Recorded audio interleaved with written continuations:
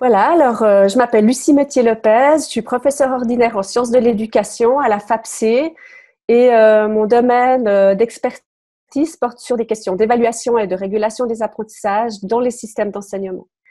Alors ce semestre, je donne deux cours. Euh, j'en ai donné euh, un euh, au bachelor, qui est un cours de méthodologie de recherche compréhensive en contexte scolaire, qui réunit 55 étudiants et étudiantes.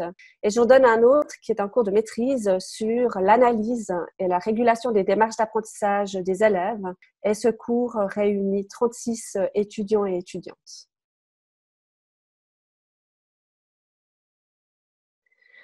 Alors, euh, j'ai choisi euh, d'utiliser principalement Moodle et Zoom. Et puis, ça m'arrive également euh, donc d'utiliser des outils externes que j'intègre sur la plateforme Moodle comme Padlet. De ce point de vue-là, je n'ai pas eu énormément de changements par rapport à l'enseignement à distance. Et euh, là où, euh, par contre, j'ai dû m'adapter à un nouvel outil, c'était l'outil Zoom. Je connaissais cet outil, l'enseignement, c'était nouveau pour moi. Et là, en l'occurrence, je l'ai exploité essentiellement pour euh, des apports collectifs et puis avec l'utilisation du chat et différentes choses comme ça.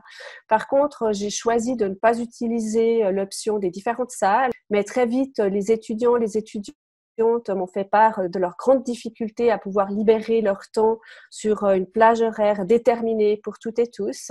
Et ils ont très vite sollicité dès la première et la deuxième semaine de confinement une euh, vraie euh, flexibilité horaire par rapport aux enseignements collectifs que j'allais pouvoir donner sur Zoom. Donc j'ai renoncé et par contre ce que j'ai beaucoup apprécié dans Zoom, c'est effectivement d'avoir la possibilité d'enregistrer très facilement le cours que je pouvais ensuite déposer sur Moodle.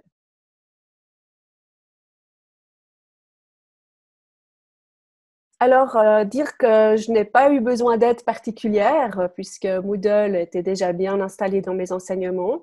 Euh, par contre, pour Zoom, il se trouve que mon premier cours était le premier lundi de la première semaine. Donc, je me suis approprié Zoom pendant le week-end avec une petite anxiété de savoir comment ça allait fonctionner. D'ailleurs, il y avait, plus de 50 étudiants le lundi derrière leur écran par rapport à Zoom. Et là, donc, euh, j'ai pu bénéficier euh, des compétences d'une de mes collaboratrices euh, qui est extrêmement à l'aise dans le numérique, qui est Céline Girardet, maîtresse assistante de mon équipe. Et à ce moment-là, eh bien, j'ai appris à utiliser le partage d'écran, le chat en même temps que j'enseignais, la gestion des micros, parce qu'évidemment, au départ, ça allait un petit peu dans tous les sens. Et donc, j'ai eu cette aide la première fois et après, l'outil était très facile d'usage.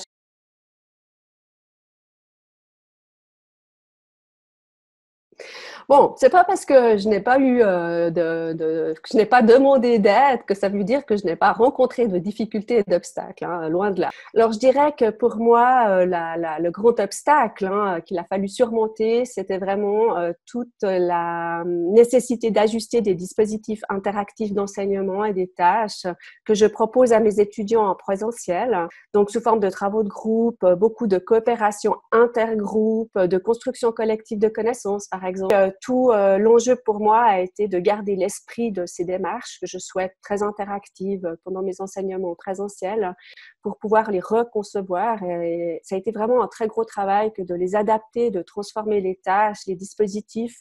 D'autant plus que, et là, c'était aussi pour moi un gros challenge, c'est que ça fait sens dans la mesure où, pour ma part, la conception de mes enseignements se fait euh, au regard d'une unité temporelle qui est large, c'est-à-dire c'est le semestre. C'est vraiment dans l'idée de penser la succession et une articulation fine entre mes enseignements collectifs, des tâches formatives, des feedbacks formatifs et le contrôle continu notamment. Et donc, comme j'avais déjà tout bien préparé à l'avance, donné les explications, etc., eh bien pour moi, euh, tout l'enjeu a été de repenser non seulement les tâches en elles-mêmes, mais de recréer un fil de cohérence sur l'unité temporelle qui était le semestre pour pouvoir ensuite ben, regarder quelles étaient les consignes à ajuster. Parce que d'une façon générale, ce qui a été important et qui m'a aussi un petit peu euh, freiné dans certaines ardeurs euh, en début de confinement, euh, c'est que finalement, c'était aussi un challenge hein, euh, d'utiliser ces outils. Déjà qu'a priori, euh, j'y suis plutôt favorable, déjà utilisatrice d'outils de ce type-là. Et quelque part, je me suis dit qu'il y avait peut-être des choses assez intéressantes aussi à expérimenter avec les étudiants et étudiantes, mais qui vite bien ont freiné quelques-unes de mes ardeurs pédagogiques puisqu'ils ont manifesté des inquiétudes par rapport aux exigences des tâches demandées, à la lourdeur du travail, à la gestion de leur temps, à leurs conditions de travail. Donc là, euh, j'ai passablement aussi allégé euh, certaines de mes ambitions euh, initiales.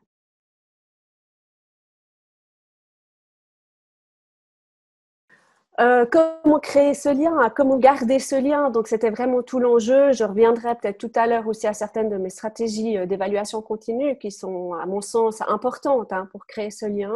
Euh, j'ai pensé d'emblée, par exemple, euh, à euh, la mise en place de Google Doc pour des travaux en duo, en trio, pour des écritures simultanées. j'ai pensé également à, à les inciter à créer des, fiches de lecture qui pouvaient devenir des ressources pour eux-mêmes pour le travail final d'intégration, hein, mais aussi pour être des ressources pour les autres. Mais surtout, en fait, bien sûr, c'est important de les mettre en activité. Eh bien, d'une part, c'est de les inciter à me poser des questions personnelles euh, que je réexploite dans les Zooms collectifs ou à titre individuel. Bon, c'est quand même intéressant de voir que quand on était sur des outils de communication tels que les forums, que j'ai vraiment spécifiés en fonction des thématiques, des tâches, etc., euh, j'ai été surprise à quel point les étudiants euh, les ont peu utilisés et que quand il y avait des possibilités d'échange, ils ont plutôt privilégié des échanges mail, disons plus personnels ou en petits groupes. Peut-être que ça peut être intéressant de savoir qu'après la première tâche collaborative qu'ils ont dû faire, euh, j'ai demandé à mes étudiants euh, par écrit systématiquement euh, de m'expliquer comment ils avaient collaboré par rapport à une première tâche formative qu'ils avaient à rendre et puis s'ils avaient rencontré des difficultés particulières. Alors, ce que j'ai remarqué d'une part, c'est que certains outils avec des procédures un peu techniques à utiliser, comme transformer un document Word en, Google Doc, eh bien, tout le monde n'a pas tenté, en fait, d'utiliser ce type de procédure et euh, qu'ils ont vraiment choisi des, moyens plus simples, téléphone, WhatsApp, euh, Skype et autres.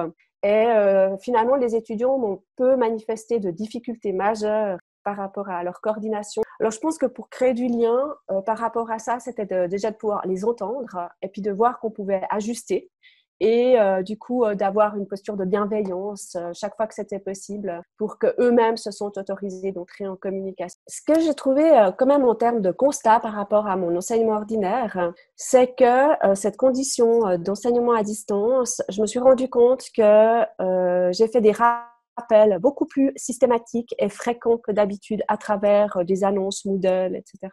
Que euh, j'ai eu besoin de beaucoup plus expliciter euh, la logique de l'enseignement dispensé sur le semestre. Autre chose aussi que je me suis rendu compte, c'est que je contrôlais plus les timings. Proactivité, j'étais plutôt inquiète de voir que certains étudiants ne répondaient pas forcément au bout de deux ou trois heures au moment où on était dans un deadline, et avec une correspondance personnelle, d'aller euh, ben voilà, contre contact, comprendre une autre façon d'avoir communiqué, d'être beaucoup plus présente en fait euh, dans la semaine pour ne pas perdre euh, les étudiants et les étudiantes en cours de route.